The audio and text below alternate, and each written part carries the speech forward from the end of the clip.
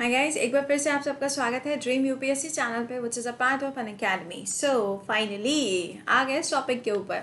बड़े टाइम से आप लोग कह रहे थे कि मैम ये जो टॉपिक चल रहा है, ये क्या चीज़ है? इसमें ये जो ट्वेंटी सिक्स और थर्टी टू लिखा हुआ नज़र आ रहा है what you mean by this तो हम लोग बात करेंगे इस पर्टिकुलर सेशन में कि अभी जो रिसेंट रिपोर्ट्स आई हैं यूएसए के द्वारा, जिसके अंदर दो शब्दों का इस्तेमाल किया जा रहा है covid twenty six and covid thirty two ये क्या चीज़ है? इसके बारे में पूरी बात करेंगे।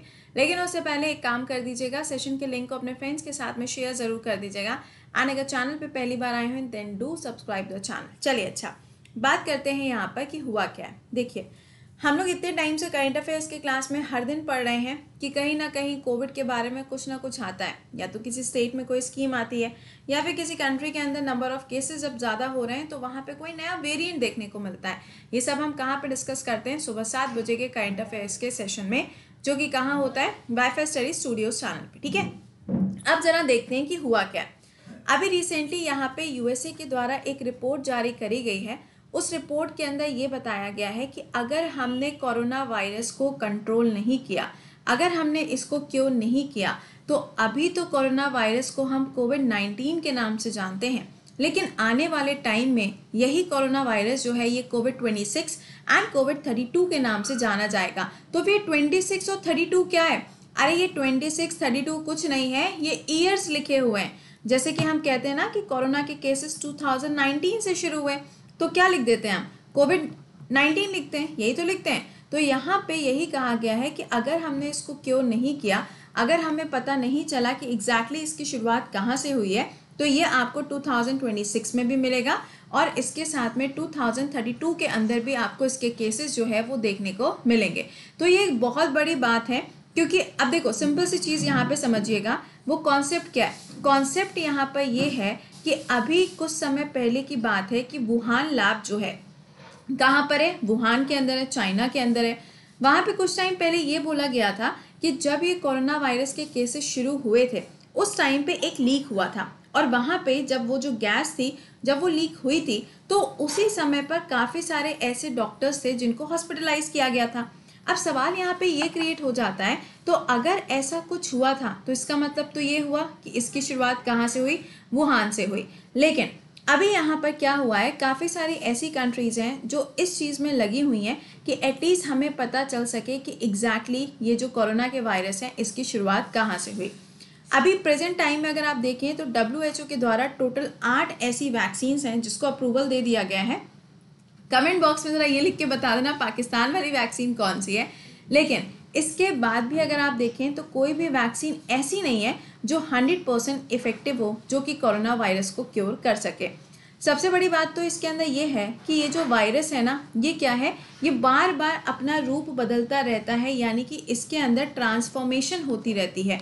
लेकिन यूएसए के अंदर अगर आपने देखा हो तो मैंने अभी कुछ दिन पहले भी आपको पढ़ाया था कि जो यहाँ के प्रेसिडेंट हैं उनका एक स्टेटमेंट आया था और उन्होंने कहा था कि जो वायरस है दिस इज़ चाइनीज़ वायरस और उस टाइम पे जिंगपिंग की तरफ़ से स्टेटमेंट आया था कि please don't use this term अच्छा अब ऐसा तो हो गया, चलो ठीक है, बात खत्म हुई। लेकिन यूएसए ने यहाँ पर पूरी तरीके से एक नोटिस जारी किया है कि अब ये पता लगाना चाहते हैं कि ये जो केसेस हैं एग्जैक्टली exactly चाइना से शुरू हुए भी थे कि नहीं शुरू हुए थे। तो इसकी पूरी की पूरी जो इन्फॉर्मेशन है, अभी यहाँ पे यूएसए जानना चाहता है। वाई इसका रीज़न क्या है? देखो यहाँ पे इस बात को समझिएगा। यहाँ पे एक रिपोर्ट आई है, जिसके हिसाब से ये बताया गया है कि टेक्सास चिल्ड्रन हॉस्पिटल सेंटर के अंदर जो वैक्सीन डिपार्टमेंट है वहाँ पे अगर आप देखेंगे तो पीटर हॉटेज है। इन्होंने कहा कि अगर हमने पता नहीं लगा पाया आने वाले टाइम में कि कोरोना वायरस की शुरुआत कहाँ से हुई थी तो आने वाले टाइम में जो आगे चल के फ्यूचर हमारा समय आएगा, उसमें हम बिल्कुल भी पता नहीं लगा पाएँगे कि इसकी शुरुआत कहाँ से हुई थी और हमारे लिए मुश्किल हो जाएगा कि हम इसको कंट्रोल कर पाएँ। तो यहाँ पर एक तरफ़ तो ये पूरा सिनारियो चल रहा है कि 2026 एंड 32 में भी आपको इसके केसेस मिलेंगे।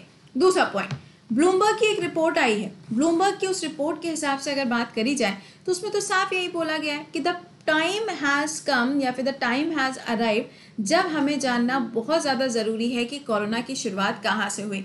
तो देखो यार, घुमा फिरा के ये जो पूरी बातें हुई है ना, मैंने आपको काफ़ी सारी रिपोर्ट्स ऑलरेडी पढ़ा के रखी हुई हैं, लेकिन यहाँ पे कंक्लूजन सिर्फ़ एक है। कंक्लूजन यहाँ पे सिर्फ़ इतना सा है कि ये जो इतने सारे वेरिएंट्स हैं, जिनके अलग अलग नाम रखे गए इंडिया का जो वेरिएंट है उसका नाम क्या रखा गया? डेल्टा रखा गया कापा रखा गया ब्राज़ील का जो है उसका नाम गामा रखा गया। अलग अलग कंट्री में जो जो वेरिएंट्स मिले, उसके नामकरण तो हो गए। बट द पॉइंट इज़ कि इसमें जो पेरेंट है, यानी कि जिसकी शुरुआत सबसे पहले हुई है, वो कहाँ से हुआ है, हमें उसके बारे में जानना ज़रूरी है। अरे हम क्यों इस बात के पीछे पड़े हुए हैं कि कहाँ से शुरू हुआ है? सिंपल सी बात है। हम इसलिए इस बात के पीछे पड़े हुए हैं कि अगर हमको पता चल जाएगा तो हम उस जगह के बारे में पूरी इन्फॉर्मेशन निकालेंगे और तभी उसका कोई तोड़ निकाला जा सकता है। तो यहाँ पे ये जो आपको 26 और 32 लिखा हुआ दिख रहा है, ये कुछ नहीं है। This is just a years और ये कहा जा रहा है कि ये पेंडेमिक सिचुएशन आगे चल के दोबारा से रिपीट हो सकती है। देखो, पहली बात तो यही है कि अभी ये पेंडेमिक सिचुएशन गई नहीं है। अभी तो ये पूरी तरीके से यहाँ पर आप देख ही रहे हैं। और मज़ेदार बात तो सुनो, अभी थोड़ी देर पहले यूपी के अंदर जो क्लास ट्वेल्थ के एग्ज़ाम्स है, उसको पोस्टपोन कर दिया गया राइट तो किसी स्टूडेंट का भी मैसेज भी आया था मेरे पास में कि मैम जब हम एक तरफ़ कह रहे हैं कि कोरोना के जो केसेस हैं, वो धीरे धीरे करके कम होते जा रहे हैं तो फिर ये बोर्ड बोर्ड के एग्ज़ाम कैंसिल क्यों कर रहे हैं? भाई, इसका जवाब तो मेरे पास भी नहीं है। ठीक है? चलिए अच्छा।